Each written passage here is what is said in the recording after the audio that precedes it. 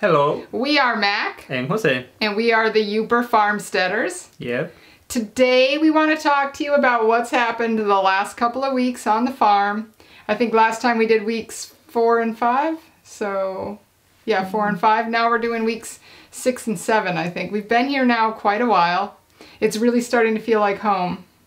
Almost. Almost like home, yeah. No, it's home. It's home. We do need a sofa though. I we still don't have a sofa and so we have nowhere to sit. We even have a picture of both of the cats sitting on the only two chairs we have. so then Jose sits on the little tiny stool and I sit on the folding chair. Mm-hmm. So the cats take priority around here.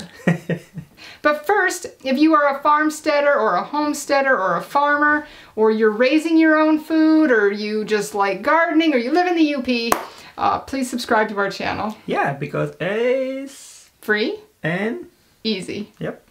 All right, Jose, what was the most exciting thing that happened in the last two weeks? Chicken and Ducks. Woo! So the arrival of our egg layers. yeah. Are you ready? Hurry up! Where do you go? Where do you go? Our ducks are here. Really? Yes. Okay, let's go. Uh, we were hoping that the chicks would have arrived by now, but uh, due to the mail, they went from St. Paul, Minnesota, which is super close to us, to Billings, Montana, which is nowhere near us. And then now they're back in Milwaukee, which is closer to us. So they will not be here, sadly, I think until tomorrow morning. And that is late, so hopefully the chicks make it. The ducks, though, well, and they were coming out of Iowa. The ducks shipped out of California uh, a little bit after the chicks, and they're here already. So it's been cold, though. So we are very worried about whether or not they're going to be okay.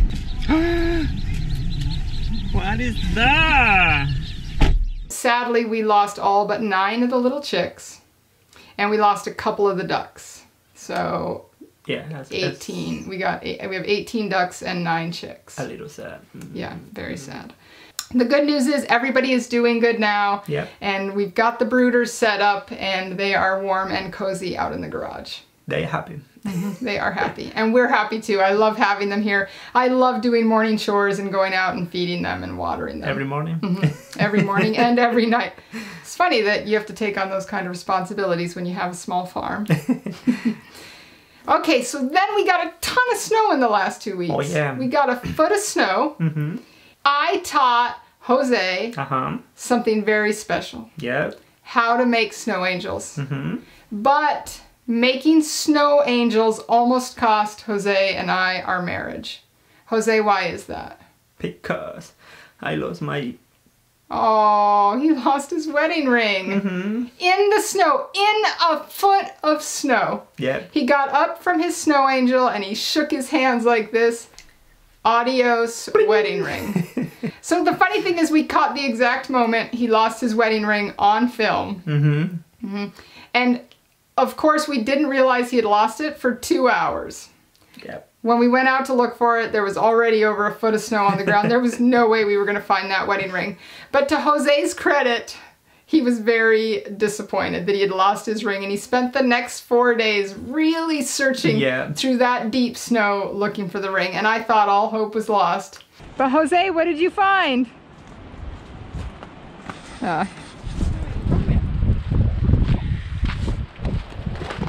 Here. oh, your wedding ring. It's amazing. It is. It's a bit of a miracle. Mm-hmm. Uh, so it's very exciting that he found his wedding ring. Mm, Mm, Congratulations. thank you. I'm glad. So, Jose, you can stay married now. You're supposed to be excited about that. Oh, sorry. With all of this going on, our neighbor came by and introduced himself, which was really nice. Yeah. And he warned us that there was a big storm coming. Oh, and yeah. he said when these kind of storms come, what happens? Power up. Power outages. I thought, eh, power outages, Uh-huh. that's not going to happen. So I went into town to do some shopping and hang out with my mom and get our laundry done. After I left, Jose sent me a text. Jose, what had happened? Uh, not power. no power. And normally that would be fine Yeah. because our heat is run on propane. So at least we can stay warm and comfortable even if it's cold outside. yeah, but We have chicks and ducks in the brooder Yeah. and they need their heat lamps, especially right now because they're still just right around a week old. They need their heat.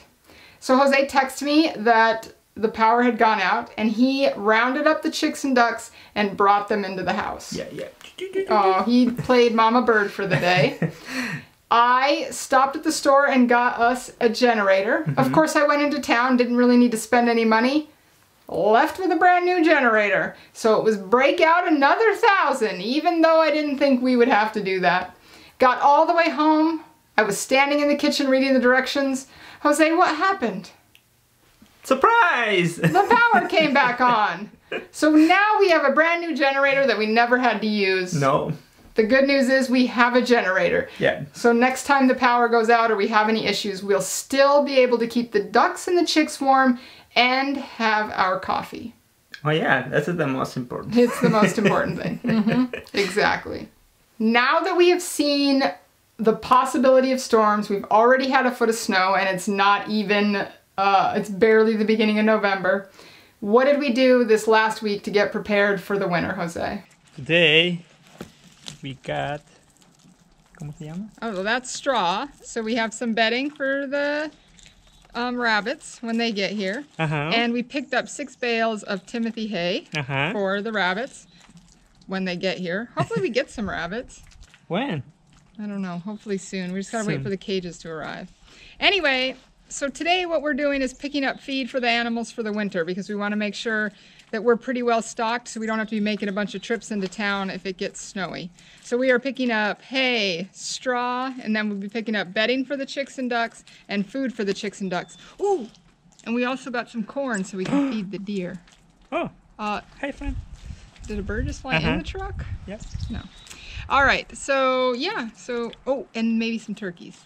Oh, nice. Whatever whatever comes across the old property. Anyway, that's what we're up to today. Okay. Here we go.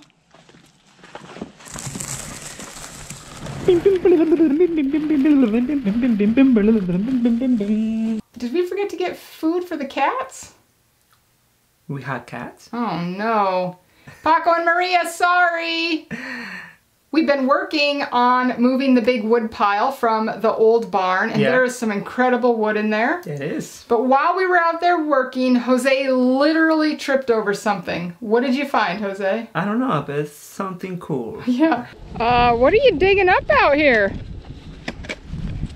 Another treasure. You found treasure? Yeah. Oh, what's this I almost tripped on? I don't know. But it is. Wow, it's an old hand plow. Look at that. Something they probably would have Uh-huh. hooked up to a couple of animals. Hmm. Wow. Do you think it's working with cat? Uh, I don't think the cats can pull that, but we sure can try. I don't think we'll get very far. Wow, that's really neat, Jose. Uh-huh. All right, what else are you digging up now? Something strange. Oh, look at that. Like some sort of an old gear. Mm-hmm. And you're having to use a shovel to get it out of here? Yep. It's my project. It's your project. You know we're supposed to be working on the gardens today. Okay, what? All right. I give you one hour. All right. That's awesome. Wow, it's big. it is. Maybe it's an old tractor.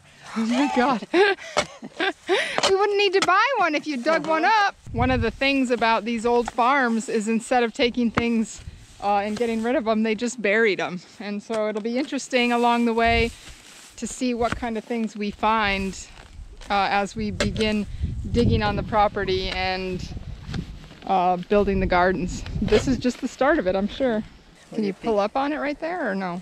With your hand? Oh yeah, you're, oh, look at that. Wow. Yeah, it's totally some sort of rake to drag. See all these right here? Mhm. They probably used to turn down and then you could drag them over the ground. That's awesome. Interesting find, Jose. Yeah. All right, well, put it with our other um, really important stuff. we'll let it dry out and then we can clean it off. Oh, that's pretty cool. Wow. So over the last two weeks, we took on two building projects. Are you ready with your skill saw, sir? That is a tape measure, not a skill saw. We built the duck and chick brooders. Yep. What else did we build, Jose? Something more important. It's something more important than the chicken duck brooders, Yeah. which was our bed. Yep. So Jose, Uh huh. you know how we have been sleeping on an air mattress? What's that like? It's almost like um ice cube, almost. It's almost like an ice cube. It is very cold. So our air mattress is laying directly on the floor, Yep. uh, right above the crawl space, and it is cold. So what I thought today is that we would try and build a bed frame and get our bed up off the floor. What do you think? It will be much better. It'll be much better. I think so too. But we built the bed frame, and so now we are up off the floor, and it is staying a lot warmer. We still don't have our mattress, but at least we're sleeping better. Yeah, much better. Uh, Jose, what was that hid behind all of the hay bales? Big toys. Did you get a chainsaw? Yeah. One of my uncles was getting rid of an electric chainsaw. We are now the proud owners, and we have a bunch of bushes to take down. You have many, many jobs. That's right. Why don't you plug that in, get it charging? Yep. Because you know what's ahead of us for the next week? Temperatures getting all the way up into the 60s. Wow. We are going to be able to do so many outside projects because we have six days at least of beautiful, warm weather. And we're going to take full advantage. All right, now get back to work. Now, the last thing, Jose, is we are on this beautiful warm up. Oh yeah. We have a week of temperatures in the 50s and 60s. Summer again. It is. It's just like summer. it is gorgeous here. One of the things we will not be buying for early next season as a greenhouse, and we don't really have time to build. So what I'm thinking of doing, because this little cutout from our big barn is a south-facing cutout. So that is east and then south right here. So the sun comes around this side of the barn and shines into this all day long. So we're thinking of turning this into a temporary greenhouse. What I'm doing today is measuring it so that I can order wiggle wire and some UV plastic to put over this next early next spring to use as a temporary greenhouse. What do you think, Jose? And we are going to try and take full advantage of this beautiful weather by getting the garden, some of the garden beds ready because we really want to be planting early next spring and if we don't get those garden beds ready. Yep. But we went to get a tiller the other day and Jose, what happened?